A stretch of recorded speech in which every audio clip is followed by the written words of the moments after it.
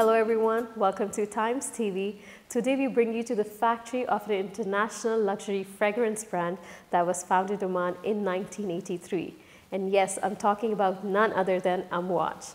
And joining us right now is Mr. David Crickmore, CEO of the company, who's going to tell us about how not to get tricked into buying fake fragrance of Amouage. Thank you so much for joining us, sir. Hi, Madiha. Good to see you. Uh, likewise, it's a pleasure to have you with us. Uh, could you please tell us how the presence of fake bottles has affected the image and reputation of the brand? Sure. Um, in the last few years, we've been noticing in particularly shops in Oman and Dubai, there are a lot of shops selling amouage that are not people that we sell to. They are not people that have ever bought from us. Mm -hmm. And we found that strange. Then when we realized that they were offering goods at 50% discount, we thought, goodness me, that's odd. So we bought some of these goods. And I'll lead you to this one, one of our best sellers, Interlude Man. If you look at these two boxes, they look exactly the same. Hmm. There is nothing really that would distinguish them one from the other. But actually, I have to tell you that this one here is a fake product. This one is a real product from Amouage.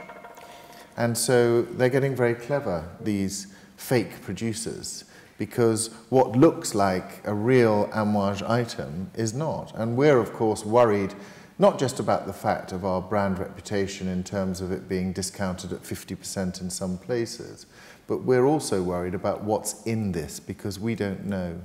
There's a health issue here. And these are chemicals that are being used, and we don't know how those chemicals will affect the consumer. Right, so, and talking about these fake products, um, what, as an end user, what distinguishes between the fake and original product? You know, because tourists are coming in in Oman and they would want to know how to get the original product.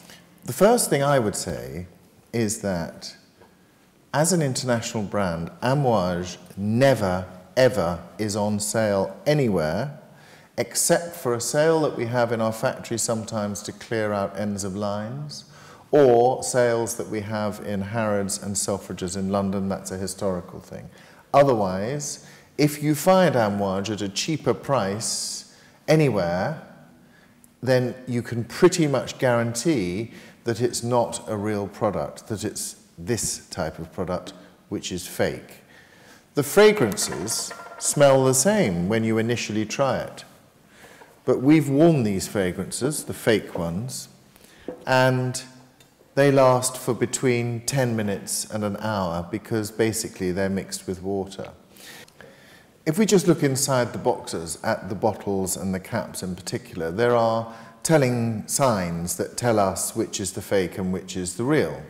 The first is if you look at the sides or feel the sides of our bottle, the real bottle, you will feel that the waves, amouage meaning waves, are much deeper on the real bottle than they are on the fake bottle because it's a very difficult thing to produce uh, in glass. The next thing is if you look at the caps, and they're getting very clever because now the caps almost look identical. But there is a little trick that we have that can't work with this one. If you see, I can put this cap back to front. I can put it anywhere I want. It is magnetic, yes, but I can put it anywhere I want. With the Amouage cap, because we have a special uh, thing within inside that is about opposing poles, we can't put it on the back because it always swings round to the front. So that's just one of the little things that we put into our product to make sure that people can identify that this is the real product. Nevertheless, I'm sure eventually, and especially now I've said this publicly, I'm sure eventually the fakers will even be doing that. So you cannot trust any product, and I repeat again, that is discounted. If it is discounted, then it is not coming from us, from Amouage the house, and you should be buying your product only at our shops or at the Muscat Pharmacy shops or at various tourist sites like the Grand Hyatt, the Chedi Hotel and Beit Al Zubair. Right, so, so many of the products that are caught in the market are actually available in the UAE. What's happening Indeed. in Oman and other markets? We have recently found another 5,000, or the police in the UAE have recently found another 5,000 pieces of fake product that is coming from the UAE, of course, into Oman because they realize that the market is greatest in the world, really, for Amouage in Oman. And the UAE uh, is the sort of central hub where a lot of these producers, they may come from China or Turkey or various places, they will ship them into the UAE and then the UAE sort of consolidates them and ships them out. So I would say that we have had now three court cases in the UAE for fakers, but we haven't yet found the manufacturers. We've only found the middlemen. Our aim is to find the manufacturers and sue them because not only are they using our copyright, you know, all these designs are registered, they're our copyright. The bottle designs, the cap designs, even the brand name, everything is registered. And they are completely ignoring that and going against it. If you look at this product, yes, from afar it looks the same, but what I can tell you is that the putting on of these little logo buttons is a very, very skilled thing. We only have very few people that do it. And on this one, there's glue all over the place. So actually, to me, it's very obviously fake. And that is what's happening. The UAE are taking these products, them having been made from wherever, and they are distributing them through the Gulf, but they're distributing a lot into Oman. So I would just continue to repeat, do not buy products from Amouage that are discounted by 30, 50%. Because if you do, I guarantee you, you are putting yourself at risk of buying a fake. Uh, so please correct me if I'm wrong. This is not the first time that that has, has been going on in the market. Not at all. Not yeah. at all. I mean, there are other products here you can see where um, there are varying degrees of, um, what's the word, of, of cleverness, I suppose is the word, in copying what we've done. But you know, some of them are making caps in plastic, very lightweight things that just go anywhere, that don't have the magnetic and actually don't really hold on the thing. But, you know, if you look at these two together, and you're a lay person, uh, you might say they look very much the same. The same with these two ornaments. Now I know that the fake one has a completely different coloured Swarovski crystal from the real one. I know that the fake one has a very um, pitted finish, whereas ours are very smooth and very beautifully sprayed. The fake one has chips on the two on the four corners where it's been held in the tray whilst it's been sprayed. We have a very different process, so ours is perfectly done. There are so many things. The cap of this one is on the collar and says the name Honor Man, as always.